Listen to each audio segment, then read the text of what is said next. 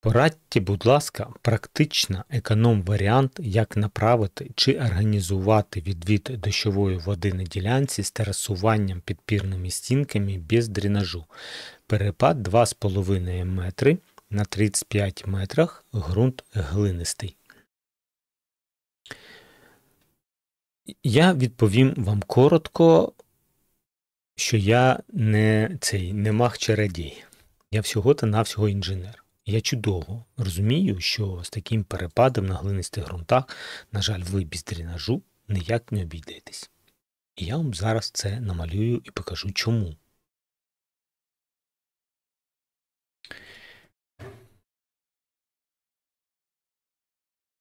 Коли у нас є схил,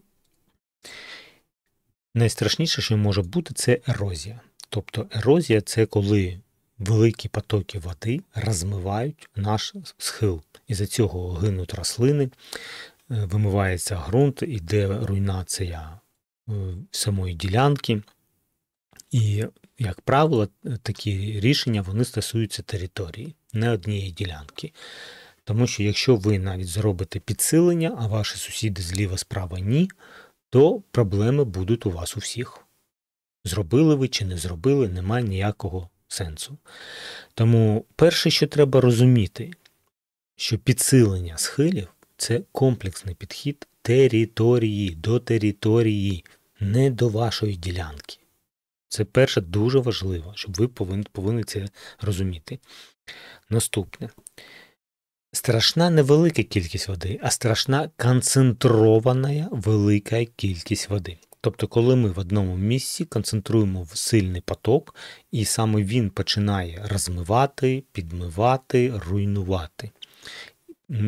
Коли дуже велика довжина, утворюється так званий сілєвий поток. Тобто це мул, каміння, дерево і так далі, котрий зносить все на своєму шляху.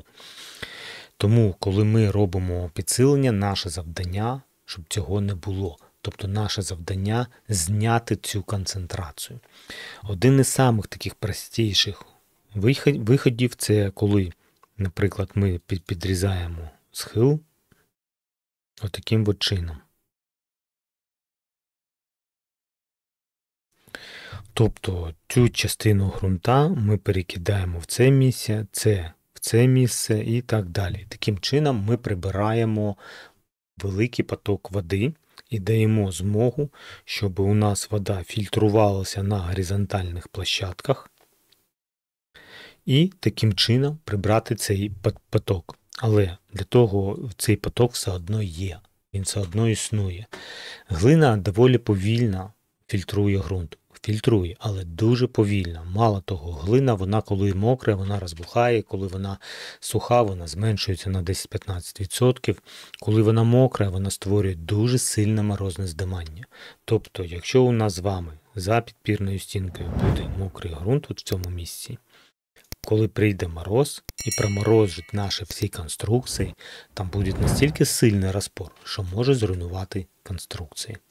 Саме із-за цього ми, коли дивимося з вами якісь класичні рішення по підпірних стінках, ми бачимо дренажні системи. Тобто, в даному випадку дренаж вирішує дві головні, три головні задачі. Перша це дати можливість ґрунту фільтруватися, уходити нижче, уповільнити цей процес. По-друге, перехопити цю воду і по пустій трубі направити її далі за межі нашої ділянки. Кудись там е, в озера, в аврах, там нижче по схилу, да, там і так далі. Е, або в дренажний колодязь, або в штучний пруд скидати цю воду. Але в будь-якому випадку нам треба дати можливість дренувати і це збирати. І також таким чином ми захищаємо наші конструкції від морозного здимання. Зрозуміло. Тому, коли у нас глинистий ґрунт, на жаль, у вас немає нічого іншого, як робити дренаж. Варіант, якщо ви зробите, наприклад, габіони, то в такому випадку вода, котра вийшла сюди, вона потрапляє в це місце, плюс до того, що йде зверху, і ми знову отримуємо ту саму проблему. Тому, на жаль, нічого тут у вас не зробиш. Що значить економ-варіант? Для того, щоб отримати економ-варіант, нам треба зробити ескізи двох-трьох варіантів, порахувати кошториси, і лише потім ми серед цих варіантів зможемо з вами обрати той, котрий буде максимально економічний. Зрозуміло. Наступне. Тобто це робота. Це не це робота. Її треба зробити. Це великий шмат роботи насправді. Наступне. Для того, щоб остаточно обрати е, порівняння варіантів, називається техніко-економічне порівняння. Техніко підрозуміває, що мені потрібно бачити вашу геологію, вашу топозйомку і працювати з ландшафтним дизайнером, тому що навіть ті рішення, котрі ми будемо з вами приймати, вони повинні, щоб були обіграні вашим ландшафтним дизайнером. Десь якийсь штучний грот, десь якесь заглиблення локальне для утворення такого затишного куточка. А не так, що тин-тин-тин-тин, економічно виграли на цьому всі. Ні. От е, хто за мною слідкує, бачив мою ділянку. Да? От У мене криволінійні доріжки, у мене різні підпірні стінки по різним технологіям. Тому що ідея створення цієї ділянки була така, якби ця, цей будинок будувався на протязі 20-30 років із того, що є. Тому це такий симбіоз різних технологій. Е, я якось сказав, вигадав такий новий стіль, як петчворк. Правильно? О, правильно, печворк. Тобто це з різних архітектурних стилей нарвані ці шматки. І в цілому утворюється отакий от затишний, е, насичений життям, насичений життям ділянка. Розумієте? У нас нова ділянка, але сюди повинна була приїхати мама вже в віці, так скажемо, і нам е, з Галиною була ідея створити цю атмосферу. Я вважаю, що нам вдалося. Е, звісно, що це індивідуальний підхід, але коли ми з вами працюємо над зеленою кімнатою, над нашим садом, я вас прошу, друзі, не, не ставте на перше місце економія, не ставте. Краще на перше місце це атмосфера. Це те, що ви будете створювати. Це ландшафт, розумієте? Будинок стоїть, дах над головою є, опалення є. Ну, добре, буде у вас безлад на ділянці не один рік, а два роки, три роки. Диві, дивіться трошки далі. Трошки далі, тому що рослинам все одно треба підрости. Деревам треба підрости. Коли у вас є проект, ви можете вже зробити якісь ключові моменти, посадити якісь рослини, і нехай вони ростуть. Потім їх пересадите, але вони вже підростуть. Тому що великі кущі вони коштують грошей. Ви подивіться, скільки коштує кущ гортензії рік і кущ гортензії три роки. Там різниця не в три рази. Там різниця, різниця значно більша. Тому е, все ж таки для створення ділянки в першу чергу це атмосфера. Це те, над чим треба попрацювати з ландшафтним архітектором. Далі. Підхіди. Підхіди є різні. Якщо у вас перепад 2,5 метра, ми можемо забульбеніти, наприклад, одну підпірну стінку 2,5 метра. Розумієте?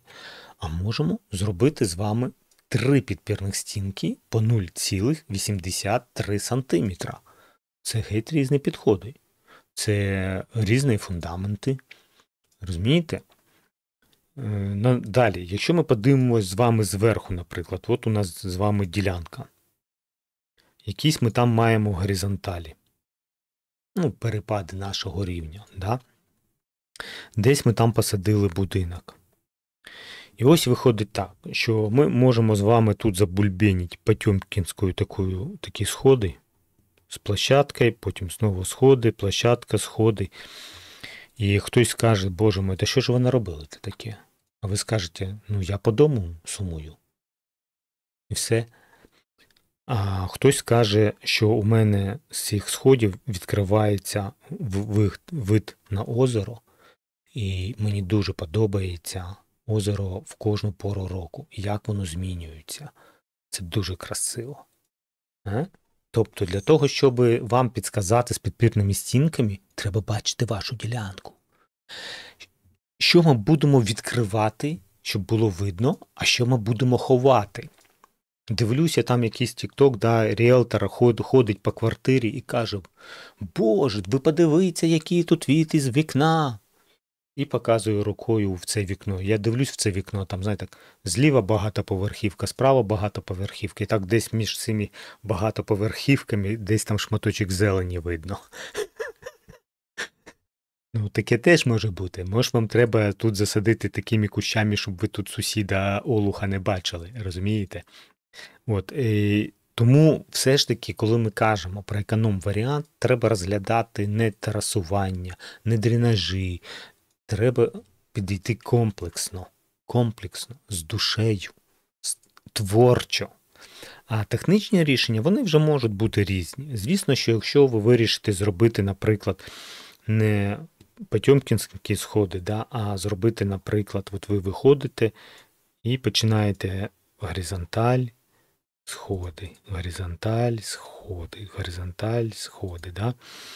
От, І таким чином ви створюєте, ви прибираєте прямий візуал.